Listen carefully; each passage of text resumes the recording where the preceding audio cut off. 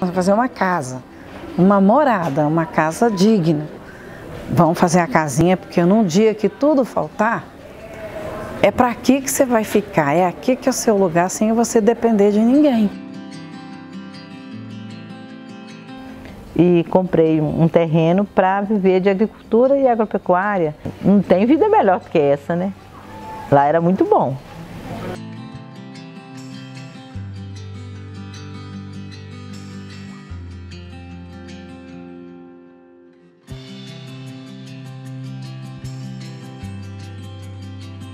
Liberdade que a gente tinha, a gente andava a cavalo na margem desse rio, do Rio Gualacho, porque descendo o Rio Gualacho, passando por um atalho, saía num outro terreno que é nosso. E a gente ia, eu, minha filha, os meninos que moravam com a gente, ia por rio abaixo. Tinha dia que meia-noite, uma hora da manhã, a gente estava repassando os animais lá, que é uma baixada assim, uma estrada de terra.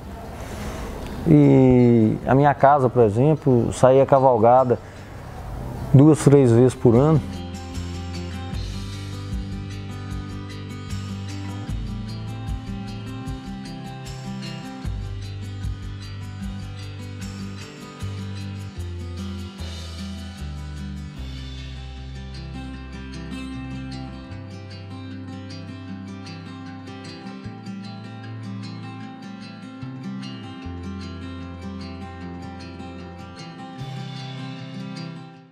Aí chegou o avião do, do acho que é Corpo de Bombeiro, né? Aí virou e falou assim, gente, vocês têm cinco minutos para retirar. E, e, pega só os documentos e sai, vocês não vão pegar mais nada. Aí quando foi é, 8 horas da noite, aí meu menino saiu com a lanterna e aí nós já ouviu aquele barulhão da, da, dos pau quebrando, né? Aquela zoeira forte mesmo. Aí meu menino saiu para poder ir na, no lago que tem, tinha ao redor da minha casa para poder ver, né? Aí nisso ele me gritou, falou com o amigo, corre mamãe, que a, a água tá chegando aqui. Aí o menino foi, lembrou que eu tinha pedido ele para tirar o menos a minha televisão de dentro de casa. Aí quando ele vem dentro de casa para poder pegar a televisão, aí deu aquela, aquela onda e já jogou a, a parede da casa tudo em cima dele. Ele deu conta só de pular uma varanda e sair para fora correndo, sem, sem nada na mão. Aí quando chegou cá na, onde é que eu fiquei cá na estrada cá, todo lameado, aí pegou e falou amigo, mamãe, não queria falar nada com você não, mas nossa casa acabou. Ela já está meia, já tá por meia de água. Aí eu dá meia chorar.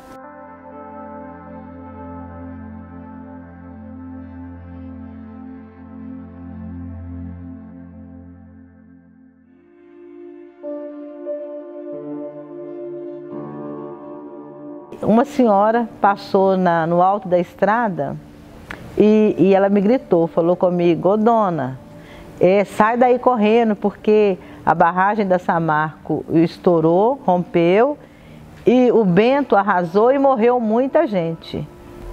Não sabia que era lama.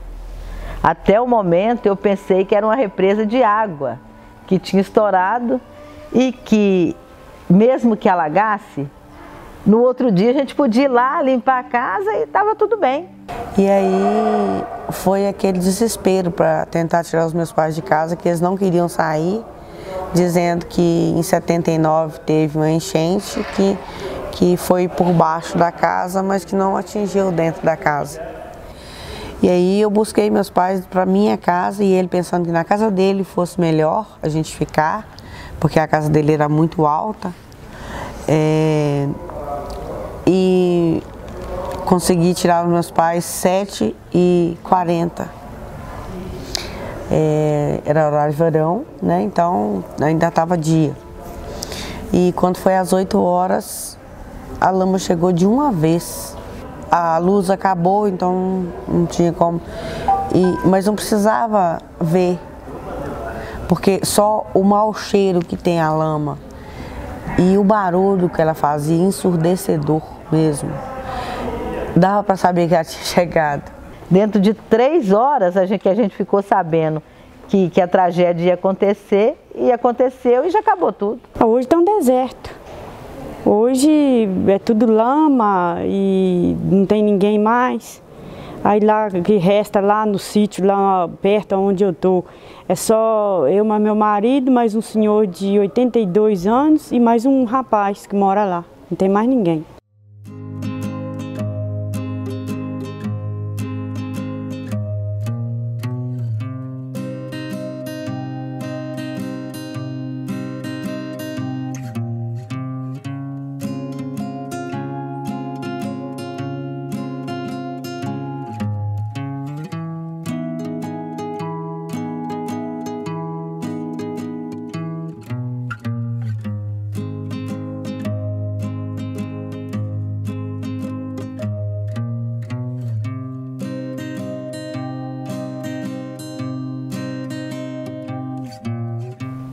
A gente construiu a vida da gente com muita dificuldade para deixar, né, simplesmente uma empresa que, pelo dinheiro, né, fazer o que fez com todo mundo, ninguém vai, vai ficar de braços atados, não, todo mundo vai lutar.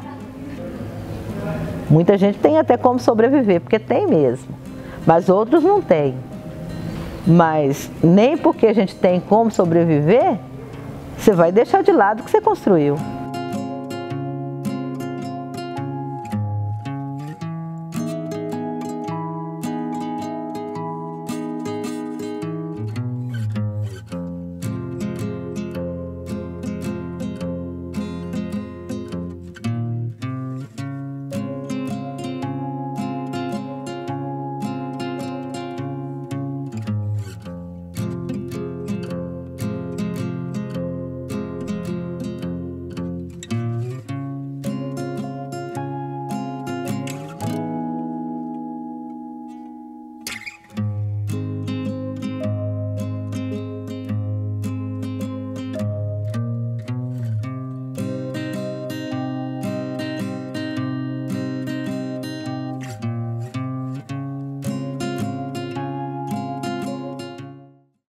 O domínio da empresa em Mariana é muito grande. As pessoas ainda querem confiar na Samar, entendeu? E se não existir um movimento de luta, realmente, para lutar, realmente, esse processo vai demorar bastante. No entanto, está tendo uma disputa entre atingidos, que essa marca fala que a partir do momento que ela devolver a, a casa de volta, ela é dona do que o atingido tinha. E o atingido não entende dessa forma. Ela fala em permuta, você entendeu? Ela continua cruel da mesma forma, pensando só em dinheiro. Eles vêm sempre é, medir a extensão que a lama passou no meu terreno. É, porque na mente deles eles vão me indenizar só aquilo que ele sujou.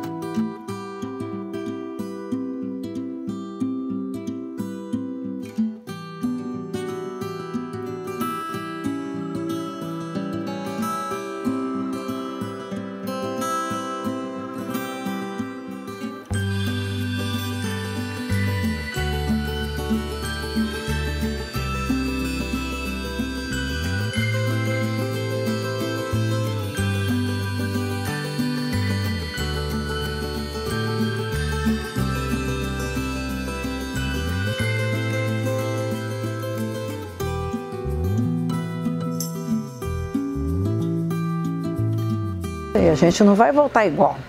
A gente vai voltar para um lugar, mas não é aquele lugar. A gente vai voltar a ter uma vida, mas não é aquela vida. Vem muita gente com a intenção de ajudar, de ajudar. Vem e arranca uma lasca e está largando a gente desprotegido. E aí, em vez dessa lasca voltar para a gente, servindo de uma bagagem, as pessoas às vezes se negam a passar para a gente essa lasca que levou que a gente não sabe o que, que querem dessa lasca. Se é se projetar, se é ganhar dinheiro, porque a gente está fragilizado. Deram muito depoimento, falaram muita coisa, às vezes na expectativa de so pedir socorro.